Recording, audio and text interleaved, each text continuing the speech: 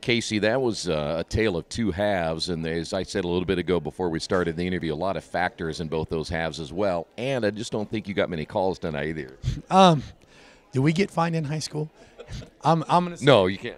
I'm gonna stay away from that because I don't make enough money just in case. Uh, I think there was a big disparity at the free throw line for sure, and I'm sure some of that's us just not moving our feet and doing the right things. And I'm going to leave the rest of it where it is. We, have got to take better care of the ball. We we're, we're, trying to do too much. When we just do the easy things, we're fine. But we we try to make it too hard sometimes, and, and we miss somebody, and then we feel bad, so we try to fire it in there anyway, and we just we got to do a better job of taking care of the ball. I mean, we say it after every game, and we keep working on it, and yeah, I don't, I don't know. It's I need a Rosetta Stone for it. I guess we can't seem to crack that. Well, you had 16, I think, unofficially in the first half. You cut that down to I think like eight or nine in the second half.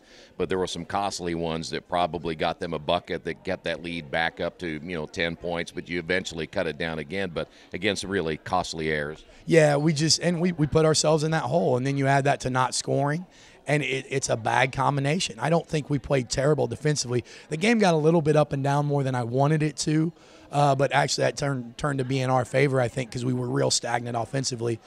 Uh, you know, but just too many turnovers you know, Braxton played well for you tonight. I think she kind of took it into herself that, you know, without Lauderdale in there to help the scoring, she kind of took that on her shoulders. Yeah, she did. And, and we ran some things that kind of forced her to. And, and, you know, in hindsight, maybe we should have tried some other things. I thought the ball moved well in the fourth quarter. We weren't selfish with it. You know, we ran some clear outs for her because we felt like she could drive on him. But, you know, we just got real stagnant. That second quarter just killed us. Do you, it kind of drives you nuts. I know when you look at this and you think, what if? And we say that a lot in coaching, what if?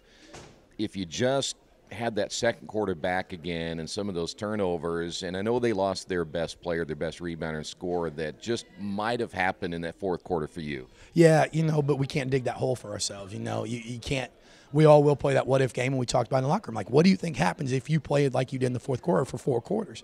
And, you know, that's the only way you can play that game to try to get them involved and engaged and trying to, to be the best they can all the time. And I don't think they were trying to not be their best, but we certainly lost focus and we got frustrated and we let some things bother us that we can't control.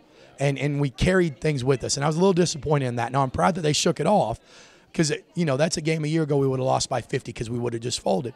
I hate that it occurred. I'm proud that they shook it off, but we've got to work on stamping it out so it doesn't even occur. We just let some things bother us that we can't control. I know you're not into the moral victory type stuff at all, but to at least make that comeback and really make them really have to, I mean, hold on to try to get that win had to make you guys feel pretty good. Yeah, you know, and I told him in there, I'm confused. I don't know whether to be upset with them or proud of them because there, there's 50 50 there. You know, there's a lot of our kids that did really good things. You know, we talked about Kelsey stepped up, Asia Orr was huge for us. You know, Hev did some good things. We, we had some good things happen, but we, we go back to we can't dig those holes for ourselves. We can't, we, we've got to be our best self all the time. Coach, you get a week now, and you don't play till next week, so this is a longer stretch than you've had in a long time. You played eight games in the month of November. I know you're probably a little bit fatigued too, playing that much, and then you had that Thanksgiving break, and that threw off the the uh, routine as well. What do you do between now and next week, and then of course getting Lauderdale back, and hopefully she'll be back next week? What do you what do you really want to work on in this next few days? I think passing would be an obvious, uh, obvious point. Um, we're going to get a lot of shots up tomorrow. We probably won't go very long because we are, we've already completed a third of our season. I mean, we, we've played a lot of games in a row. This was a battle tonight. I know they're going to be tired. We're going to get them in. We're going to get some shots up. We're going to do some passing things. We're going to probably look at some film and then regroup and come back Thursday and get ready to, to have a regular practice and just keep progressing. You know, I don't know that we'll put much new in right now, but we certainly got a lot to tighten up and we've got to prepare for Franklin County.